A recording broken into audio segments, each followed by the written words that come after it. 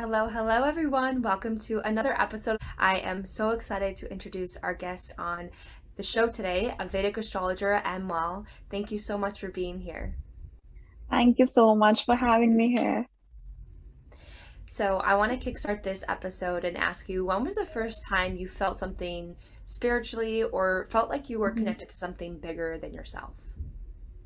Okay, so with that, actually, it happened a lot of times, but uh, one incident I could remember was 2017. Uh, it was the time when uh, I was actually I started with my Sade Sati and astrologically, and it was a major transformative period for me. And I was uh, like a lot of things were happening in my personal life, which got me into that transformative phase. And uh, I was thinking a lot about how to get out from that. You know, there is that uh, moment when you don't realize that uh, uh, what to do at that very moment and that was the moment when i realized that there is something much much uh, greater than uh, this earth plane right? So i used to preach lord shiva a lot. And uh, that was the moment i realized that i have something in me which is more towards spiritual spirituality and uh, i went into spirituality and i started meditating. It was actually very difficult in the beginning because it was like a lot of traumas come back to you when you meditate. And there's like a, a, a lot of crying uh, emotions waves of emotions all of that. So that's how my journey began. Wow. So, yeah. were you already studying Vedic astrology at this point? Yes i was because i started vedic astrology like when i was just 16 years old Wow. and this is back in 2017 i think i was 21 back then Wow. So, yeah when were you first introduced to Vedic astrology? Okay so uh, for the very first time i was like very very small. And uh, my mother used to get some books you know there's one book you might know of there's a red book lal kitab we call it in uh, hindu sanskriti. So my mother used to get those books and uh, she used to read that. I was very small i didn't have any understanding of anything. So what happened was uh, i used to see her doing something making some charts and some people used to her friends used to come home and they used to ask her about things and she used to tell them things. So um, i i have been a part of such a conversation. But uh, then when i grew up i saw my cousin and mother discussing over astrology number of times and that was the point when i was introduced to astrology and i was introduced to my mentor by my cousin who was kapil raj and then i started uh, watching his videos and uh, eventually i started being uh, interested into vedic astrology and i learned it for like good 8 years Wow. yeah I, yeah It's such a lifetime of knowledge. Like you're just exactly constantly learning and constantly evolving with exactly it. When did you start to take it on as more of like a full-time thing for you like, uh-huh. okay, this is going to become my thing? Okay, so that was, uh, I guess, back in 2019. I completed my studies. Uh, it was actually, um, you know, not completed. Um I I didn't used to go to college because, you know, that is the teenage. You want to uh, be isolated. You don't want to connect to a lot of people. So I was going through that phase. And, you know, when it's about uh, your transformation, astrologically, when it's about your transformation period, you tend to find a lot of answers so just in order to find a lot of answers i was i did i i was like more into vedic astrology though i was learning it before that also but that was the point when i started learning it like 24 hours a day i used to sleep for i guess 2 to 3 hours Wow. only and i used to just learn learn learn Wow. yeah I I love I love all of that. And what was the first aspect about astrology that you learned where it really just like hit you and you were like, there's something deeper here and I, I want to explore more? Okay, so one thing that is, uh, you know, very much associated with the Vedic astrology is like here in India, people don't take astrology as something uh, like we consider it as a pseudoscience. We consider it as a science, basically. But uh, in India, people are more towards superstition right? They consider astrology to be something to be scared of. Right. So I used to talk and discuss with a lot of people about it, and all I uh, used to, um, you know, hear was that what are the remedies? What should be done? Uh, how can we save ourselves? So nobody understood that there's much more uh, to it. You know, there's much more logical explanation to it so that was the time when i uh, i understood that there is a way to make to change the perception of people. So that was my main focus and that was something that used to irritate me at the first when people used to say that because this is something my passion is right? So when somebody say, says something opposite to what you are passionate about you get agitated. Totally. so this was my main focus to you know uh, bring a change towards vedic astrology I love that so much, and that's part of why I really connected with your Yeah. offerings and how you really teach Vedic Mhm. astrology because I feel the same way. I feel that um, growing up more around Western astrology, I was always fascinated Mhm. with the stars and cosmology. And when I started to realize that um because I started in my journey with learning about Ayurveda and then I got Yeah. into um, learning about Jyotish after.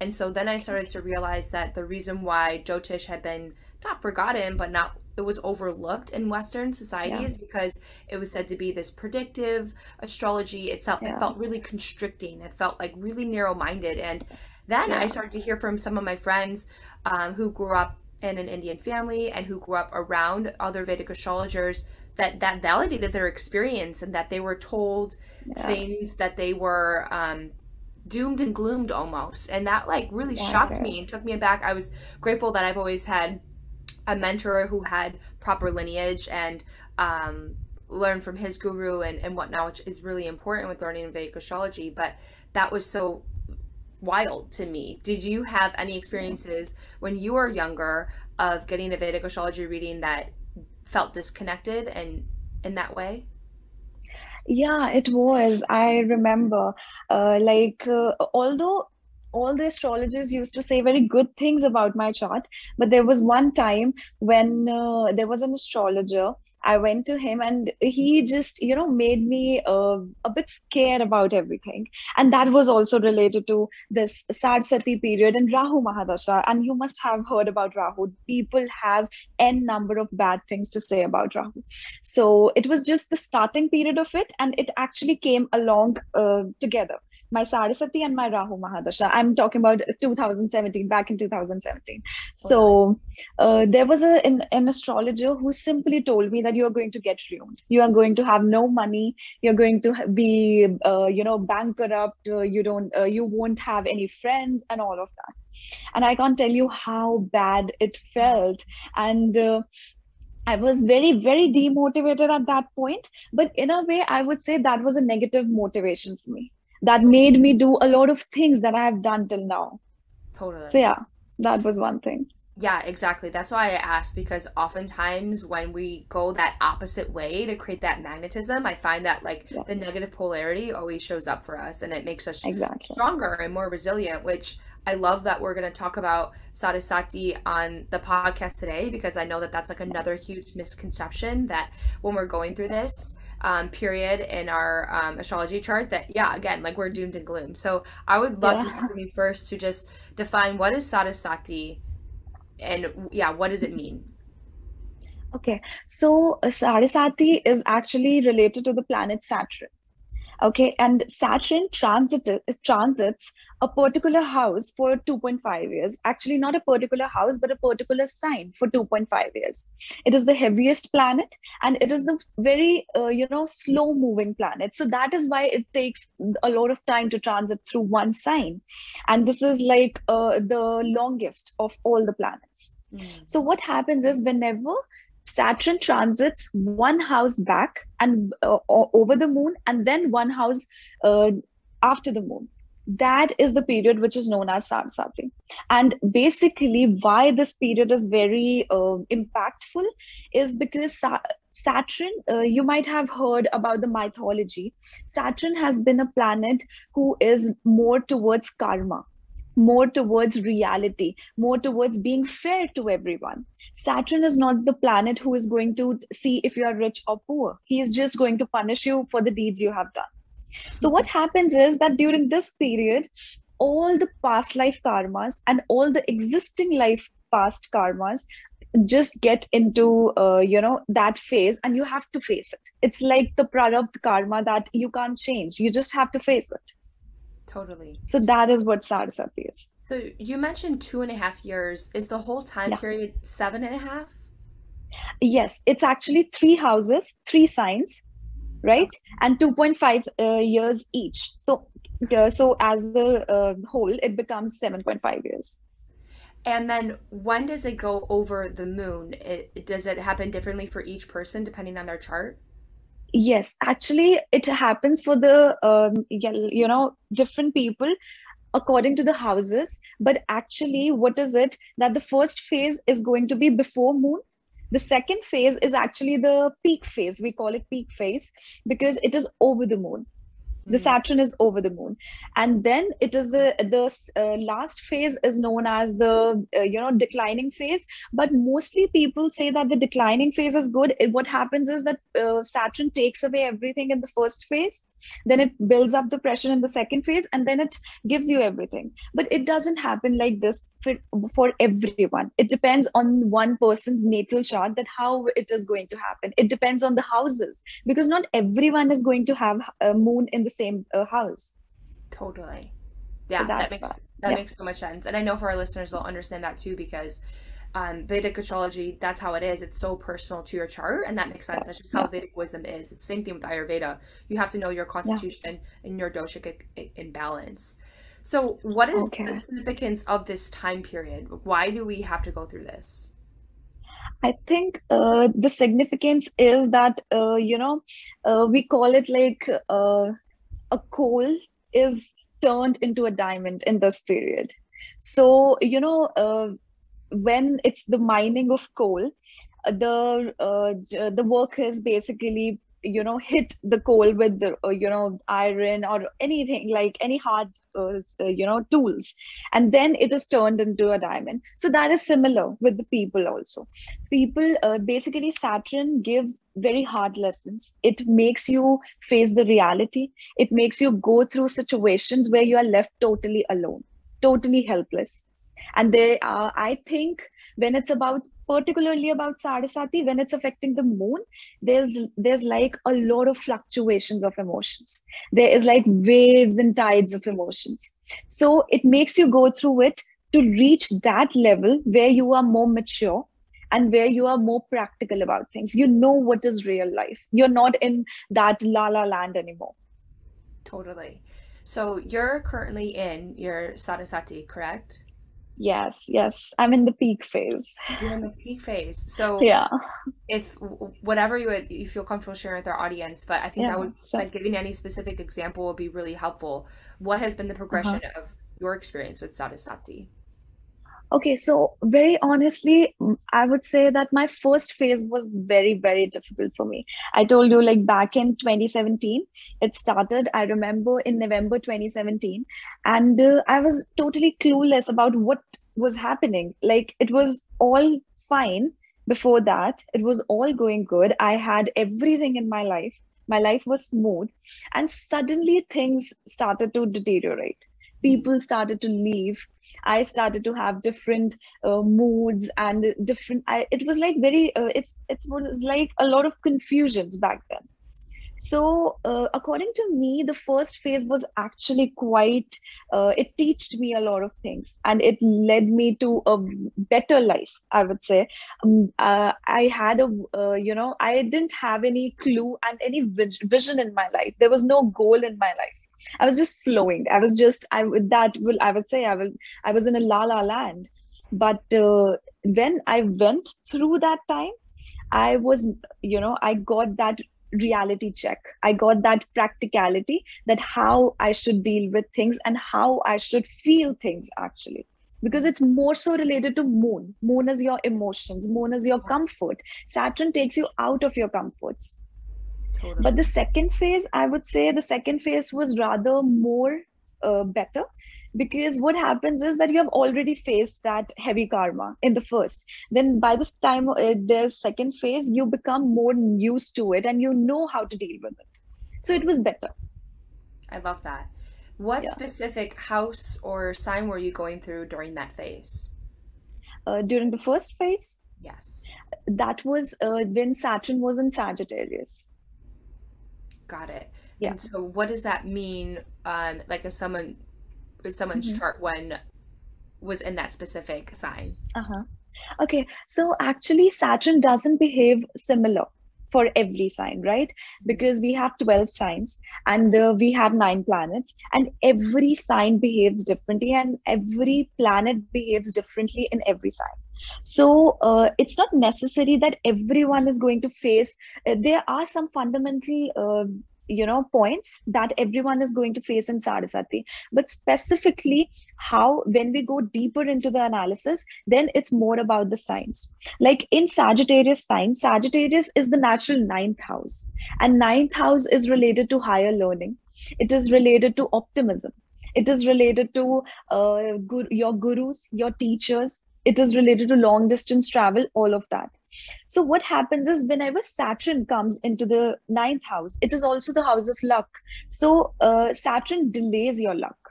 You mm-hmm. get everything.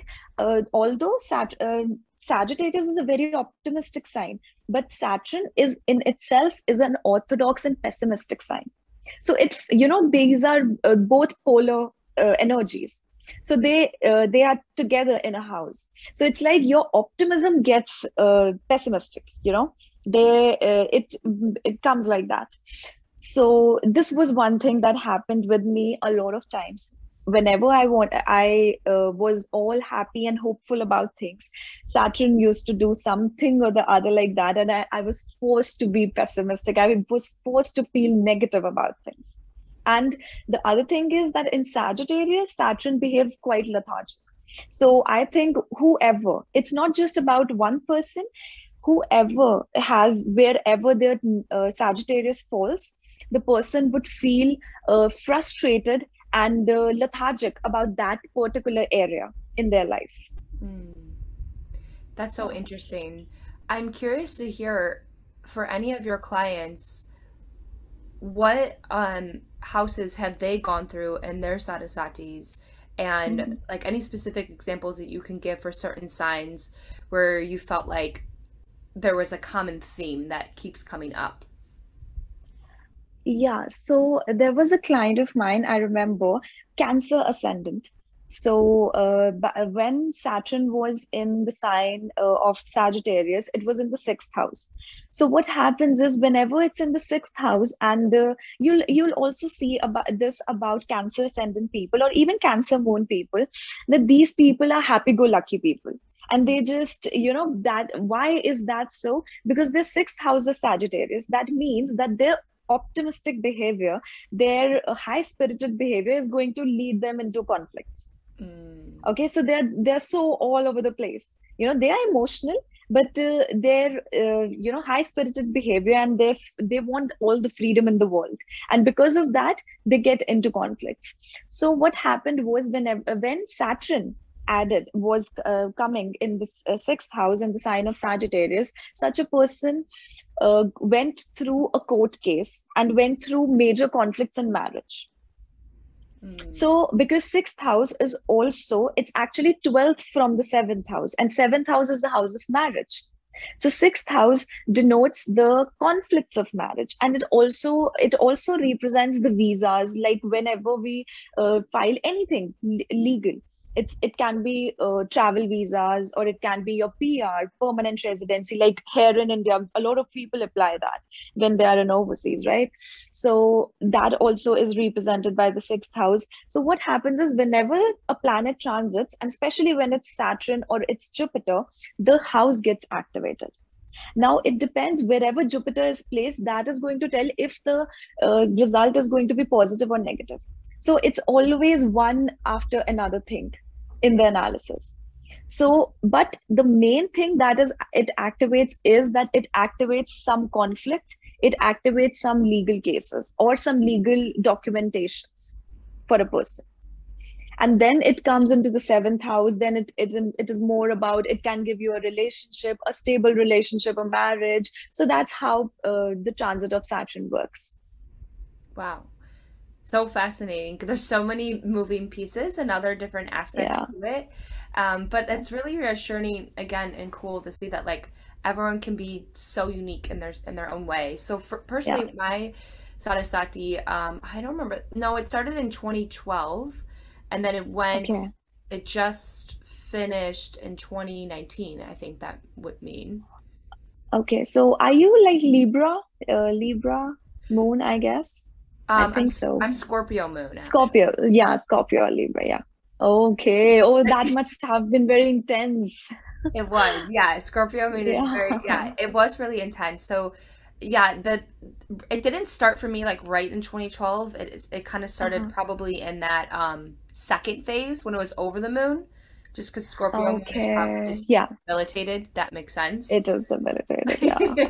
But you know, Um, I feel that Scorpio, having a Scorpio moon is much, much better than having a Taurus moon in this in this era, you know, in this generation. Yeah, I love it. And honestly, what's really interesting about the Scorpio moon is my business partner, Rachel, Scorpio moon, and a lot of my Uh-huh. family members and a lot of my friends all have Scorpio moons too. So it's really weird how, Uh-huh. like, I don't know if you've noticed that too. If, connect. Yeah. yeah, you really connect with them. But I, I. Yeah. I feel like um, it's really used for deep transformation, and I, I love that feeling of like getting out of the mud and going into that that resiliency. exactly not when I'm in the mud, it's not so fun.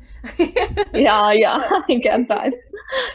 But I, I will say also, so what's interesting about mine is that my Sade Sati, um, and then i went straight into my Saturn return.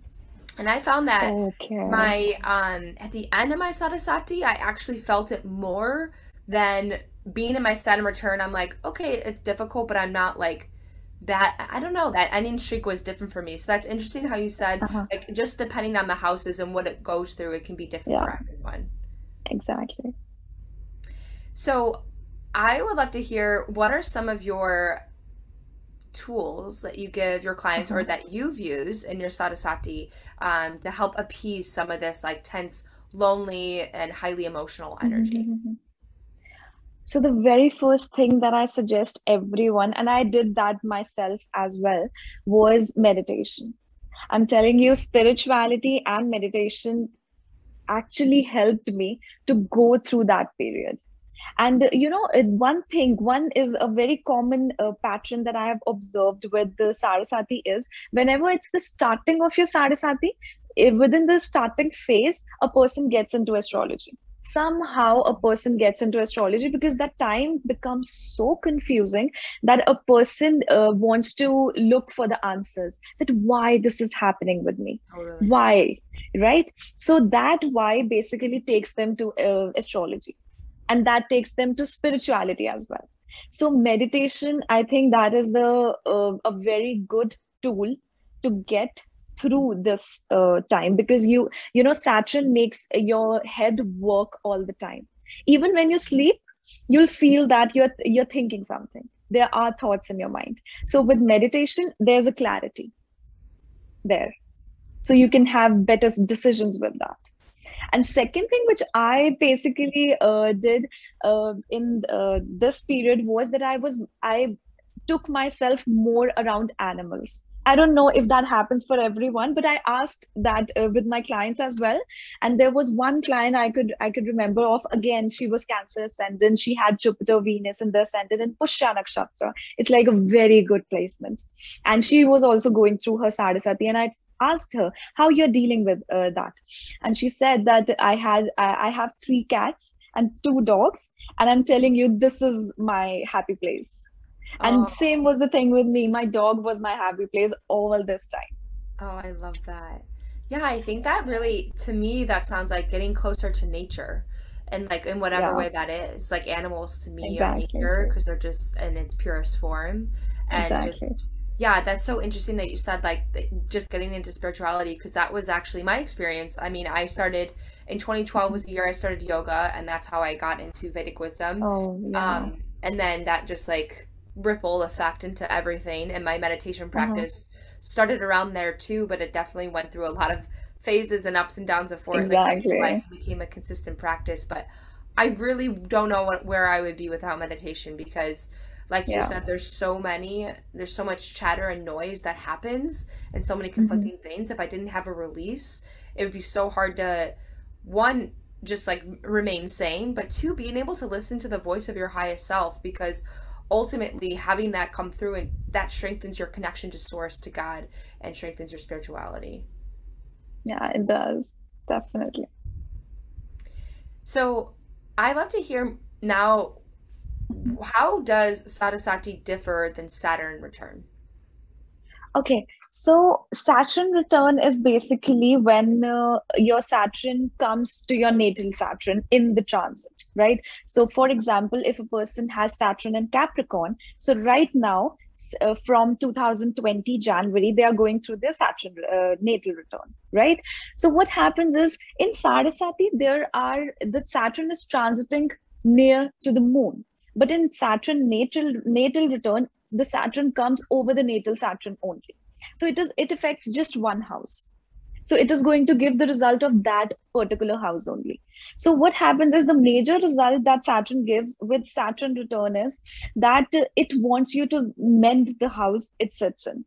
Mm-hmm. like wherever saturn is sitting you you have to face major karma related to that house like for example if your saturn is in the fourth house like lord rama had his saturn in the fourth house. So he had to face a, a karma related to mother figure and he did that. He went on uh, 14 years uh, you know in the jungle and lived there. So that is how saturn uh, makes you um, you know that saturn plays out.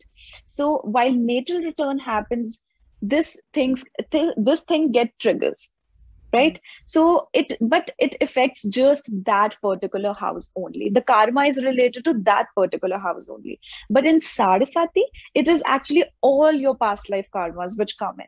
Because that is for 2.5 years only the natal return and sade sati is for 7.5 years. So the duration is also long enough. Totally. so this is one major difference so would you say energetically what would you say is the difference? Would you say that Sade Sati is heavier and it can be more difficult and challenging? I think yes, Sade Sati is more challenging than natal return because it uh, you know it has number of effects but natal return that is just confined to one particular house and the significance of that house only totally and about Sade Sati too, I wanted to ask, do we um, mm-hmm. can can you go through multiple in a lifetime or does everyone go through multiple in a lifetime? Yes, everyone does. Like uh, it's not necessary that you're going to uh, face the karma for this life. It's like your multiple lives, your past lives, all the past lives that you have. Even we don't i i, I told in the very first uh, uh, few minutes that it's the prarabdha karma that we have to face. And prarabdha karma is something that we have carried forward in this life that we can't deny because we don't know anything about it. That is in the past lives. So this is the thing. I'd love to hear either a personal story or any of your uh-huh. clients how they have gotten out of the mud of the energy of Saturn and really use that to transform and really step into their power and who they are. Okay, so I would mention my personal story here. I I used to be like a very introvert child. I used to be a child of, since I'm a Capricorn, so i i don't like to deal with other people you know a lot of people. It like frustrates me like why are there so many people around me? So i've been very like uh, you know saturn the sign of saturn capricorn is the sign of saturn so it makes you feel lonely. It makes you feel more inward than going uh, going outward and being social with people. So i've been very introvert from the beginning I've been very lonely from the beginning. But what happened in the Sade Sati was that I met a lot of people and uh, i didn't have the confidence to speak you know right now also i'm speaking to you a uh, few few uh, years back i might not have done this mm-hmm. like i would get that bitters i would get that you know anxiety at that very point but what it did was it built a lot of confidence in me it built uh, that thing in me that i now i know that yeah i have that confidence and I, I know how to interact with people. I don't get scared of things very easily. I don't get that anxiety very easily now. So the, my confidence was one thing that was triggered a lot and uh, it actually made me a good and confident person after that. Oh, I, I love that so much. I, yeah, that's what I not love, well, kind of. I love the energy of Saturn for that reason because it's that great yeah teacher within us and it pulls out that part that we need. It's not the lessons that we want, but the lessons that we need. And I, I really yeah feel that for my, um, you know, Sade Sati and now going into my Saturn return, I went through a big phase of having to let go things like alcohol and, you know, just a life of living more like unconsciously. Um, not that it hmm was ever like a huge problem. I feel really fortunate for that. Um, but as I got more into my spirituality, I realized I just didn't need these certain things in my life anymore. And now that I have like gotten through that phase and I'm on the other side of it, I have so much more confidence in being truthful to who I am and not needing any substances or anything like that to to get in the way. Yeah, I, you know, uh, here I would mention one thing. I've seen one thing with water signs. Whenever Sade Sati comes with the water signs, because you'll always see whenever there are there are heavy placements with water signs, people actually get indulged in substances because these people are so emotional that they don't know how to let you know let out those emotions. So alcohol or substance is a way of them of letting out all the pain so whenever Sade Sati comes in, this is the first thing which gets affected. Wow. And actually, what happens is it gets amplified first, and then it is, uh, you know, God, it gets down. Yeah, that like nailed it. That it, that's exactly Yeah, what happened, and yeah, it's so it's so interesting you said that because I totally believe that that's actually been um, a lot of Mhm. my past has been avoiding emotions and just not knowing how to yeah, process it. And I felt like yeah, when probably the reason why towards the end of my Sade Sati I started to feel all the emotions more is because I didn't have alcohol to Mhm. suppress it. So when you don't have that yeah, anymore, then it was like, whoa, this is what it feels like to actually try to process all of these. It was really intense.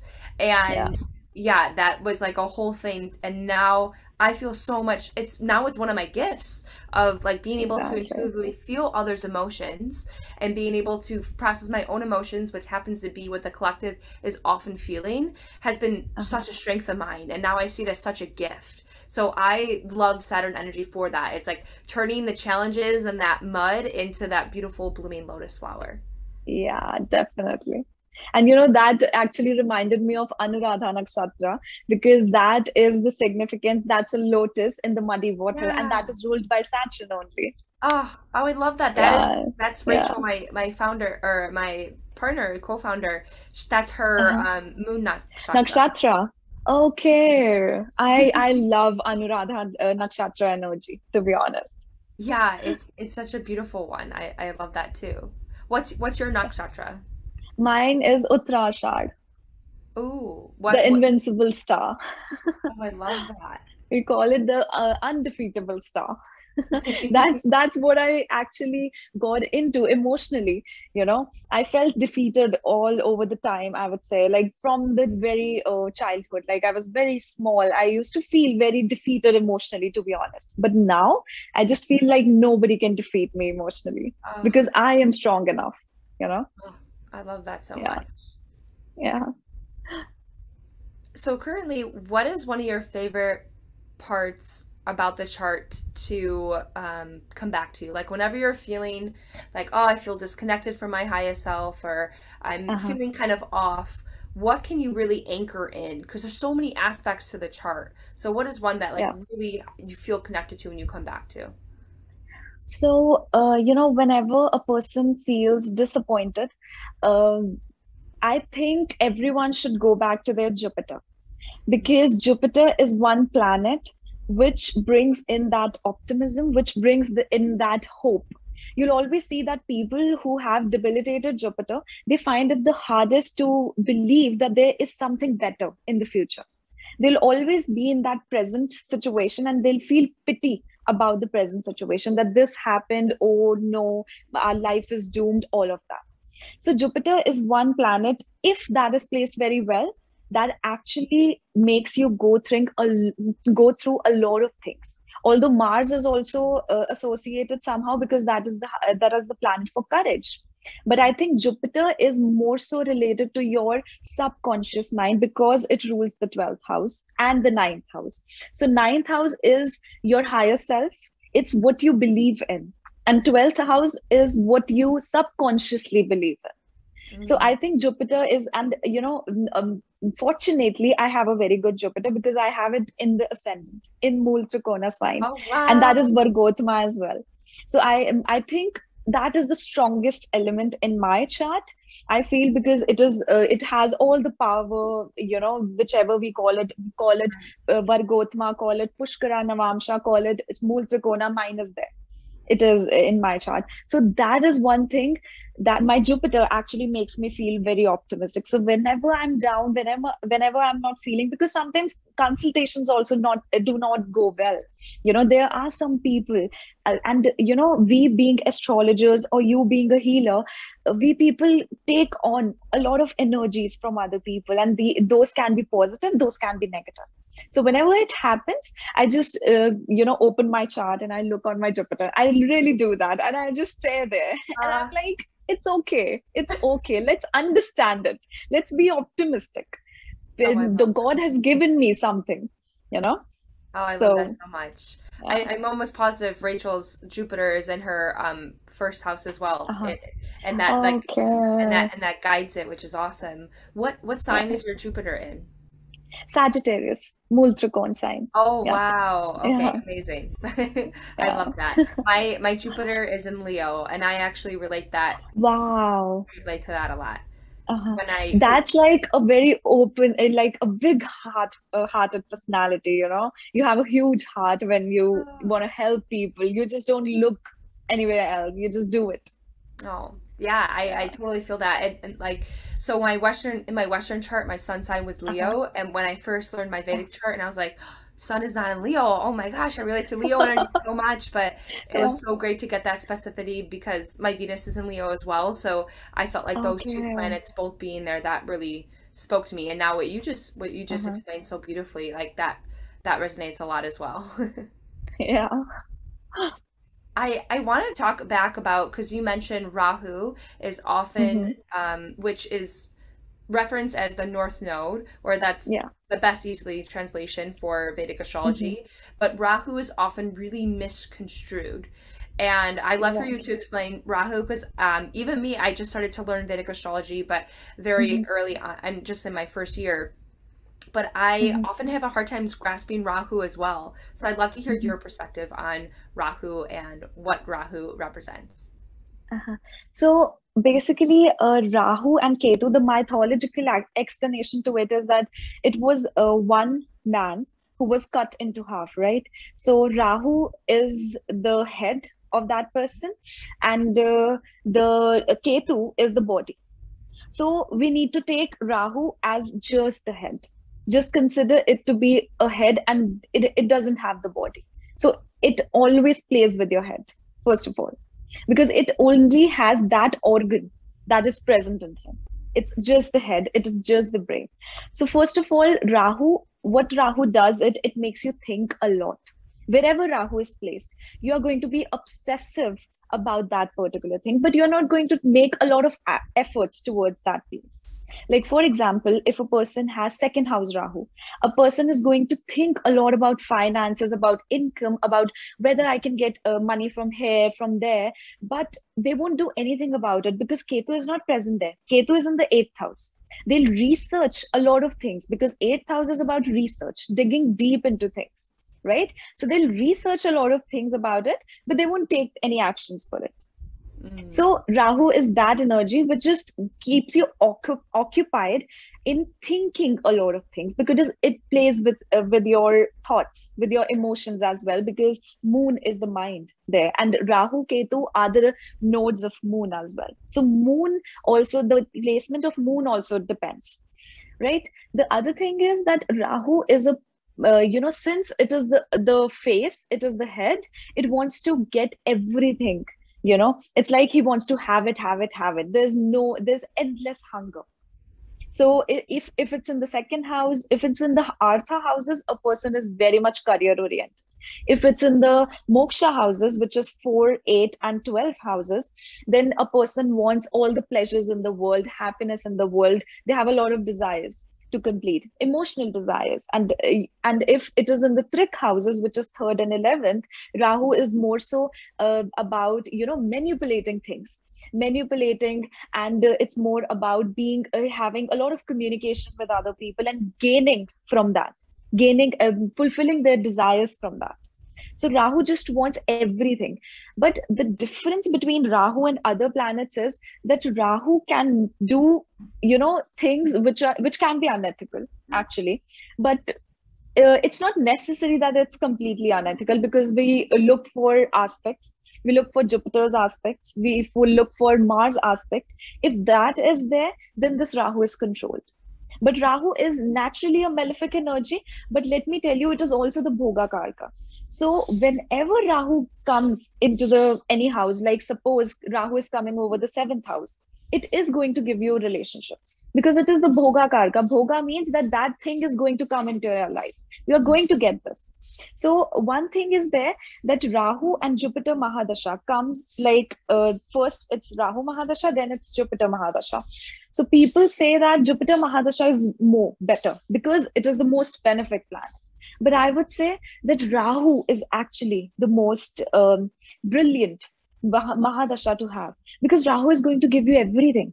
Wow. And jupiter is not actually going to give you anything. Because right. it is going to teach you first. Right. So this reminded me one of one of my clients. Uh, like he lived he uh, he was living in canada right? So uh, he just got there on uh, like uh, with the usual process of student visa and all of that stuff. And what happened was that he became millionaire. Literally he became millionaire with a bank job uh, and some other things as well because he was very much into how to earn money and all of that. So he became uh, very rich in the rahu rahu period when rahu uh, period started. And then as soon as rahu jupiter started because after rahu rahu we have rahu jupiter right? So when rahu jupiter started all his money went out. Wow. and at that point he came to me and uh, he uh, asked me that should i do this? Like uh, she he, he wanted to go back because he was uh, because he was bankrupt. He couldn't pay off any of the you know money. And he was like i i, I think i need to run wow so this was what how you know immediately jupiter uh, you know transformed his situation wow. so rahu is good in certain ways. Totally. That's a perfect yeah. example. It's really interesting because in Western astrology, a lot of times it's explained that the North Node is kind of what your purpose is in this life. And I yes, think that's yes. really interesting because Rahu represents that materialism. So it's like, what exactly. can we bring in this physical realm? And I think that uh-huh. gets misconstrued sometimes as what is my purpose and what am I going to be in this lifetime on this earth plane. Yeah. But really, in Vedic astrology, it's more just on that materialistic plane, like actually bringing yeah. physical things into this earth. And I think that, again, why it gets confused with Jupiter probably is because Jupiter is abundance. And we all think yeah. that abundance means yeah. physical objects all the time, which it totally can. Yeah. That's not the totality of what real abundance is. Yeah. But you know, I have seen Rahu, uh, not only it's about materialism, it can even be about spirituality. Mm. Like I have seen people with the, whenever Rahu is transiting over the ninth house or it is transiting over the 12th house, or there's there's one thing in uh, um, uh, Mahadashas that we see that is Tribhagi analysis. So in Tribhagi, we divide uh, the Mahadasha into three parts and then we uh, uh, ana- analyze from that particular sign.